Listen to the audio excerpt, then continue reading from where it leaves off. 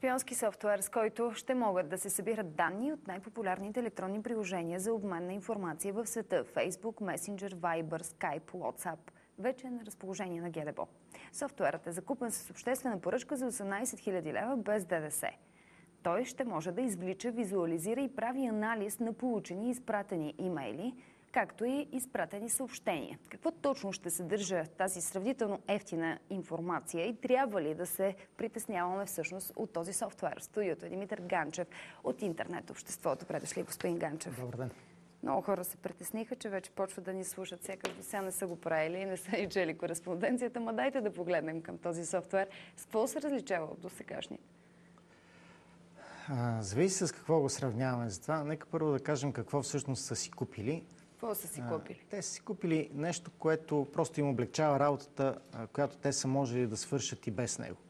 Включително и аз мога да свърша това, което софтуера прави, само че ако на мен ще ми отнеме, да кажем, две седмици, за да се преборя с един телефон, този софтуер ще го направи за 10 на 15 минути. Какво означава да се преборите с телефон? Дайте за да, да си представим какво нека, прави. Да, да. Нека да довърша мисълта си. А, за да може да извадите с този софтуер някаква информация, вие трябва физически да, да имате достъп до телефона, за който става дума. Т.е. той трябва да е у вас, за да го закачите към компютъра, на който ще пуснете софтуера да извлечете с него информация от телефона. Това не е софтуер за дистанционно подслушване, както вероятно очаква публиката, а е за копиране на информация, която се намира в телефона ви, ако аз вече съм ви взел телефона. Може би хората не знаят, телефона може да си го представите като една USB флашка, mm-hmm. а, върху която е записана информацията в него. Дори да бъде изключен, дори да му бъде извадена батерията, тъй като се вържи през USB порта, може да бъде с специален софтуер, разбира се, а, копиран. След което на спокойствие GDBOP може да си дешифрира информацията, която вътре е намерила. И този софтуер какво прави? Просто се задейства на ключови думи или търси по дадени... Не, не. не. А какво точно прави? Софтуера, това, което прави е... Всъщност няколко неща, разбира се. Първото е да, да намери взаимовръзките между нещата. Примерно връзките между контактите в SIM-картата ви и контактите в Facebook, между съобщенията в Viber и местоположението ви на картата. Да, възможно да се прави анализ на на такива взаимовръзки. Ма това е в случай, че ние сме дали да се запазят подобни данни, че сме синхронизирали контактите в Facebook приложението с тези от телефона или Дори... че сме синхронизирали местоположението си чрез Google, че сме дали разрешение, нали така? За някои неща дори не е нужно да дадете разрешение, тъй като разрешението в общия случай е за изпращане на тези данни навън, извън телефона. В много от случаите той си ги записва в своята си памет, независимо от това какво разрешение сте дали или не сте. И затова казвам, че ако имат физически достъп до телефона ви, на практика имате, имате достъп до същата информация, до която вие, когато си го ползвате. А...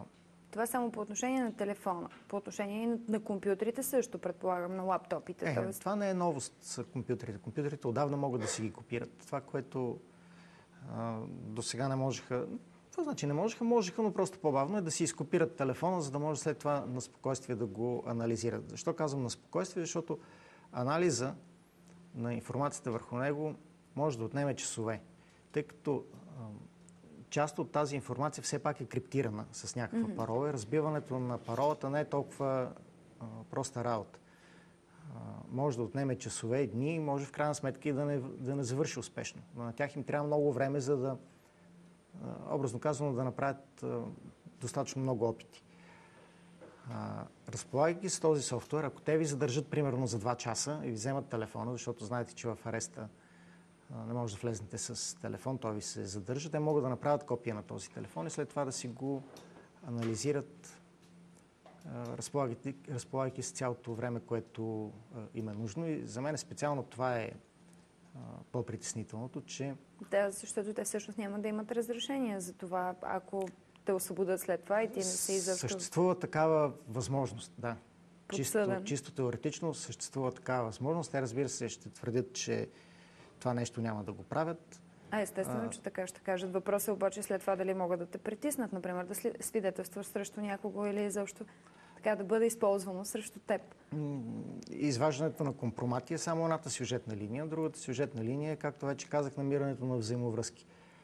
Те могат да създадат така наречения социален граф. Кога, с кого а, си комуникирате, кога, къде се намирате, а, какви са ви приятелите, те с кого са приятели. А, може да ви бъде съставен много подробен профил. Е, човек, ако няма какво да крие, едва ли това го притеснява в голяма степен? Ако нямаш какво да криеш, още зато не те интересува дали някой знае какви са ти контактите или не. Ами, ако най... има какво да криеш, това вече наистина се превръща в твой проблем. Това е най-честото обяснение, което хората, така, с което хората се самоуспокоят, ами аз нямам какво да крия. Не е вярно, че нямате какво да криете. Примерно, ако си търсите нова работа, имате какво да криете. Самия факт, че си я търсите. Искате да го скриете от предишния работодател. Мога да сета за още един куп неща в ежедневието, които бихте препочели не всеки да ги знае и които биха могли да бъдат след това използвани за,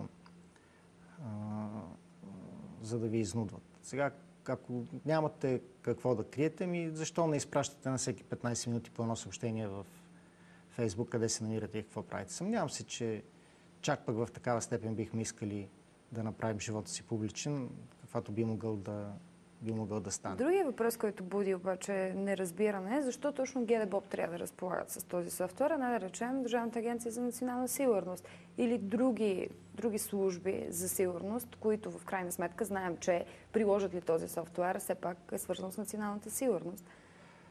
А кой казва, че нямат? Това, че ГДБОП са го направили публично, не означава, че някой друг не го е направил преди това не е публично. Нека да си спомним, че в Wikileaks... А те си купуват различни софтуери, не, не използват един общ. Различни, за да може държавата да плаща на всяка от службите по-отделно, така ли?